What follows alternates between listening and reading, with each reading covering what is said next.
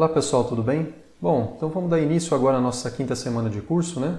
Onde a gente vai começar a estudar, digamos assim, o terceiro pilar, né, sobre o qual o cálculo diferencial integral ele se sustenta. Tudo bem? Nas semanas anteriores a gente já estudou o conceito de limite, a gente já estudou o conceito de derivada, né, que digamos que são os outros dois pilares, né, sobre o qual o cálculo diferencial integral se sustenta, e agora a gente vai começar a estudar o conceito de integral. Tudo bem? Que de fato é um conceito absolutamente importante, né, com muitas aplicações em todas as áreas da matemática e também em todas as áreas onde a matemática pode ser aplicada, né, que digamos assim são basicamente em todo e qualquer fenômeno que a gente possa imaginar. Tudo bem, pessoal? Muito bem, então a gente vai começar a estudar as integrais definidas e indefinidas, ok?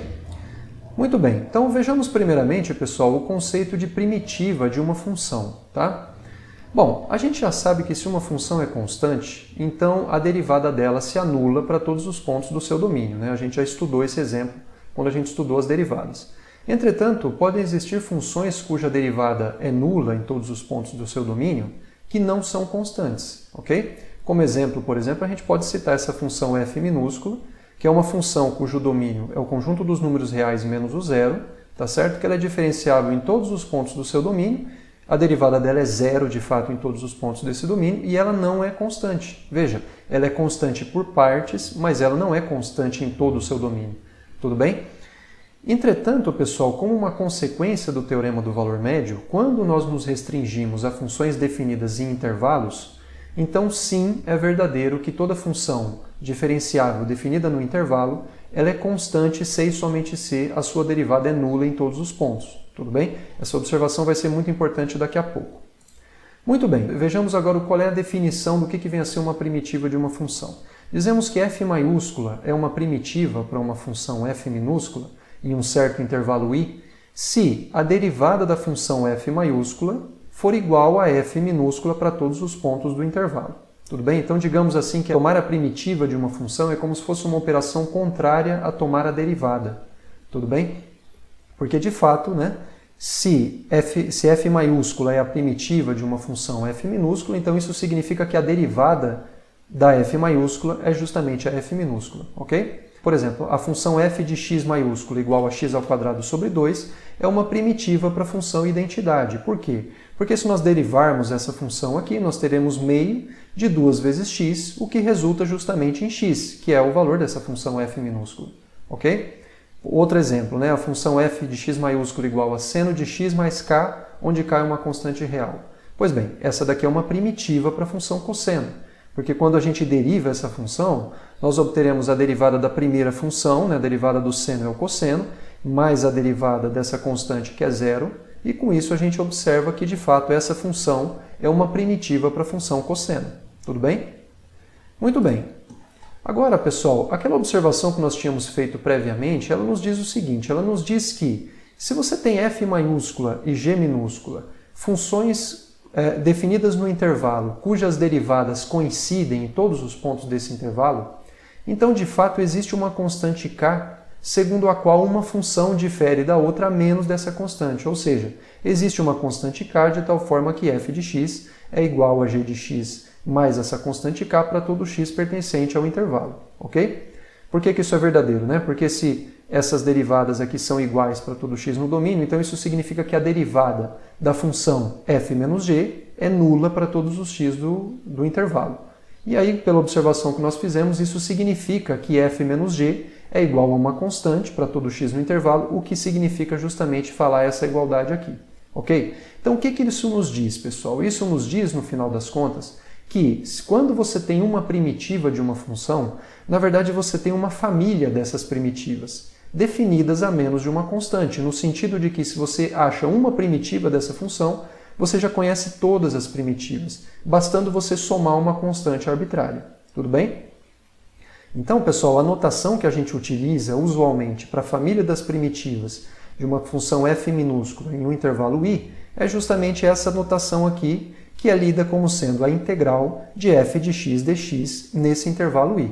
Tudo bem? Então, essa notação ela é utilizada para simbolizar a família das primitivas dessa função f minúscula no intervalo i em questão. Ok?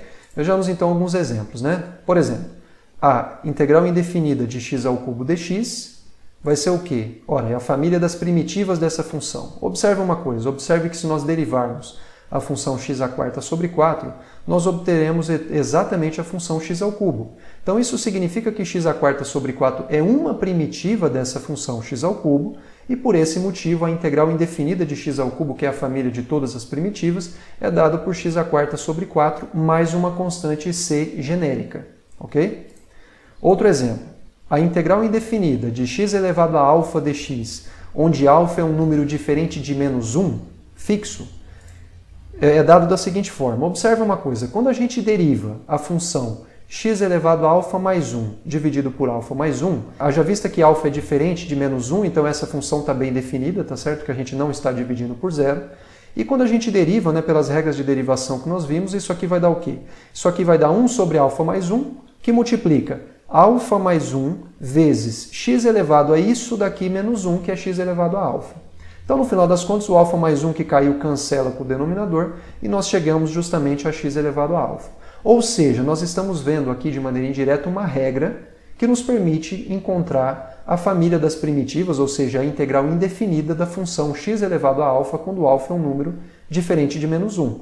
A saber, essa integral indefinida é dada por x elevado a alfa mais 1, dividido por alfa mais 1 mais uma constante, ok? Perceba como o exemplo anterior se enquadra nesse caso aqui. Tudo bem? Um outro exemplo, a integral indefinida de 1 sobre x ao quadrado dx. Isso daqui também é um exemplo que se enquadra no item B, tudo bem? Mas vamos fazer aqui de maneira explícita. Perceba que se você derivar a função x elevado a menos 1 dividido por menos 1, isso daqui vai dar justamente 1 sobre x ao quadrado, tá certo? Então, na verdade, aqui simplesmente o que a gente precisa fazer, né, se você não quiser fazer o que eu acabei de falar, basta você se lembrar da regra, tá certo, do item B e perceba como é que a integral de x elevado a menos 2, que nada mais é do que 1 sobre x ao quadrado, é x elevado a menos 1 dividido por menos 1 mais uma constante. Então, essa, essa integral indefinida é menos 1 sobre x mais uma constante, ok? Outro exemplo, a integral de raiz cúbica de x elevado a 5 dx. Bom, perceba que isso daqui é a mesma coisa que a integral de x elevado a 5 sobre 3.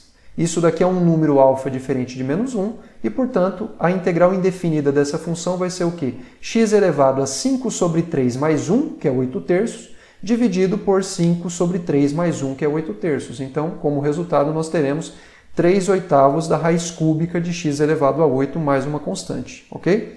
Enfim, também se enquadra no exemplo exposto lá no item B, tá certo? Agora nós temos aqui um item um pouquinho diferente. Perceba que esse exemplo aqui é aquele exemplo onde nós temos a integral de x elevado a alfa, onde alfa é exatamente igual a menos 1, tá certo? Então a gente não pode aplicar aquela regra do item B para fazer o cálculo dessa integral indefinida. E além disso, pessoal, a gente tem que prestar atenção no domínio dessa função aqui, tá certo? É, a gente vai definir quem que é a primitiva dessa função aqui para os valores de x positivos, tá certo? A expressão que a gente vai definir ela só vai ser válida para nos dar uma primitiva dessa função quando x é positivo, ok? Então perceba uma coisa, perceba que quando a gente deriva a função ln de x para todo x positivo, isso daí dá justamente 1 sobre x. Por esse motivo, a integral indefinida de 1 sobre x dx é dado como quê? Como o ln de x mais uma constante genérica para todo x positivo, ok?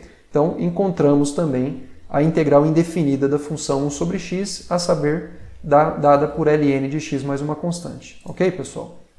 Muito bem, então tudo isso que a gente viu se referiu às integrais indefinidas, que como nós vimos, ela define a família das primitivas né, de uma função. Agora nós veremos um conceito que a princípio não tem relação com o anterior, mas nós veremos na próxima aula que de fato tem tudo a ver. Tá? A gente vai ver agora o conceito de integral de rima de uma função. Bom, para que a gente faça isso, a gente vai dar uma motivação geométrica, que é o seguinte. Imagine o problema da gente determinar a área delimitada pela reta, pelo eixo x, pelas retas x igual a a, que é essa reta vertical, x igual a b, que é essa reta vertical, e pelo gráfico dessa função aqui, que é uma função positiva. Ou seja, nós queremos a área delimitada por essas quatro curvas que a gente acabou de falar, ok? Bom, obviamente, quando f é uma função genérica, a gente não tem, um, a gente não tem é, ferramentas para fazer esse cálculo. A gente saberia se essa função f fosse uma reta, tá certo? Onde isso daqui seria uma figura geométrica aqui que a gente conseguiria triangularizar e, portanto, calcular o, o, essa área, tá certo? Mas não é o caso em que f é uma função genérica. Então aqui, pessoal, a gente vai fazer um procedimento que ele é baseado em um procedimento por aproximação. Como que nós faremos? A gente vai primeiramente subdividir o intervalo AB usando o que a gente chama de uma partição do intervalo. O que é uma partição do intervalo AB? É uma sequência finita de pontos desse intervalo onde o primeiro coincide com A, o último coincide com B e esses pontos são todos ordenados e distintos entre si. Tudo bem? A amplitude de cada um dos subintervalos a gente vai denotar por ΔXi, que vai ser o extremo direito menos o extremo esquerdo, que é o que dado aqui. Ok? Muito bem. Agora, para cada i pertencente a, entre 1 e n, né, a gente vai considerar um ponto intermediário entre esses dois pontos aqui do subintervalo, um ponto CI genérico dentro desse intervalo. Ok? E aí a gente vai, a gente vai definir um número que é a soma de f de CI vezes a amplitude do intervalo, tá certo? Que no caso é o delta xi, quando o i vai de 1 até n, e a esse número a gente vai chamar de soma de Riemann de f relativa à partição P e aos números cis que foram escolhidos no subintervalo, ok? Muito bem, vejamos o que, que, esse, o que, que esse número, né, que é a soma de Riemann, de f relativa a essa partição e esses números, vocês vão ver, vão ver o que, que geometricamente esse número significa, tá? Veja bem, imagina que nós tenhamos aqui o gráfico da função, o domínio dela que a gente está analisando apenas dentro do intervalo AB. Nós consideramos uma partição desse intervalo, que é x0, x1, x2, né? até x5 aqui no caso que coincide com B. Tomamos os pontos C1, C2 até C5 aqui genéricos, né? dentro desses subintervalos. E aí perceba, pessoal, que cada parcela da soma anterior, ela coincide, ela corresponde justamente à área desse retângulo de base nesse subintervalo e a altura dado por f de CI. Tá certo? Por quê? Porque as parcelas eram justamente f de CI, que é esse ponto aqui, multiplicado pela amplitude do intervalo, que me dá justamente a, o comprimento da base do intervalo. Então a soma de Riemann, no caso, corresponde à soma das áreas desses retângulos aqui vermelhos, ok? E aí a gente percebe que isso aqui fornece, em alguma medida, uma aproximação para a área que nós estamos procurando.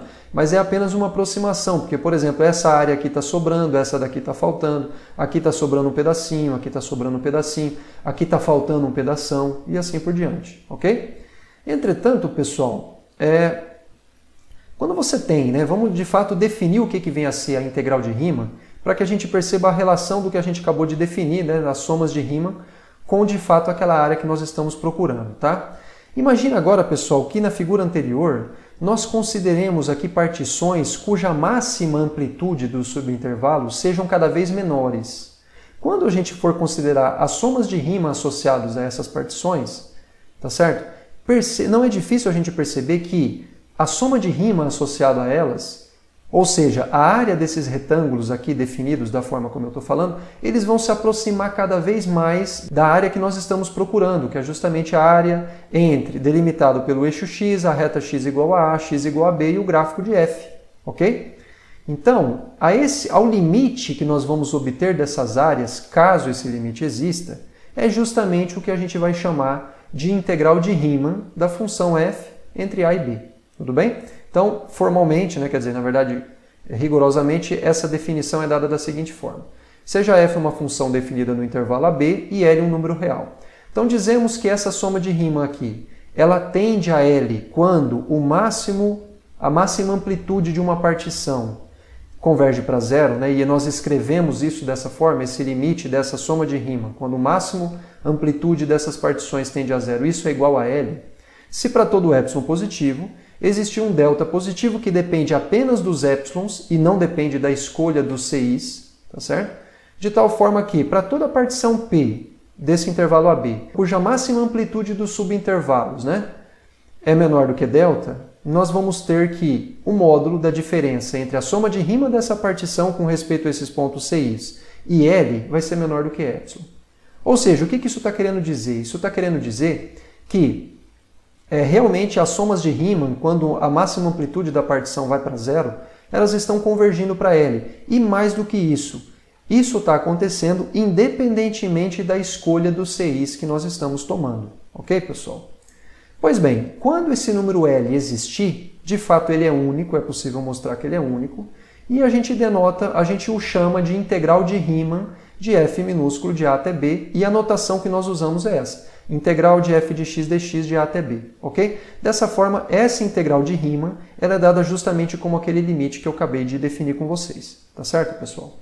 Muito bem, e uma observação é que, por definição, nós estabelecemos, né, convencionamos que a integral de f de x dx de a até a igual a zero, e a integral definida de a, a integral de Riemann de f de x dx de a até b é igual a menos a integral de Riemann de f de x dx de b até a. Então perceba que dessa forma nós sabemos definir essas integrais indefinidas, mesmo quando a não é um número menor do que b. Tudo bem?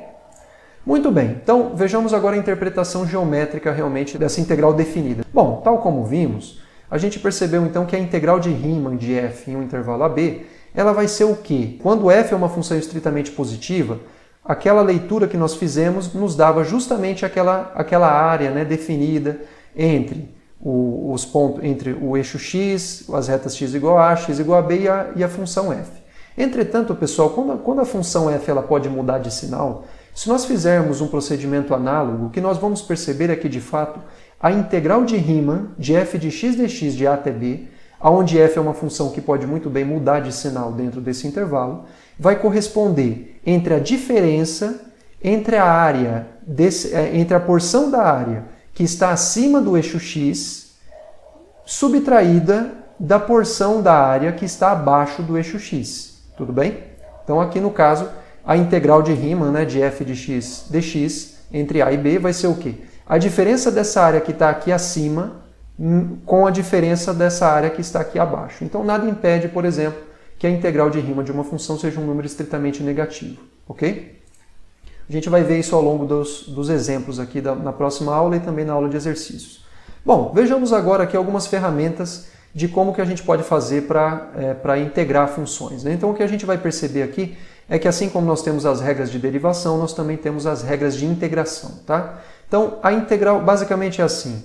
A integral de Riemann da soma de duas funções integráveis é a soma das integrais a integral de um produto de uma função por uma constante é igual a essa constante vezes a integral da função, ou seja, a integral sai para fora, tá certo? Perceba, pessoal, que não vale que a integral do produto de duas funções é o produto das integrais. Isso é falso, ok? Isso é falso. Lembrem-se disso. É, outra, outra propriedade. Se f é uma função não negativa no intervalo AB, então a integral de Riemann dessa função nesse intervalo também é um número não negativo, tá certo?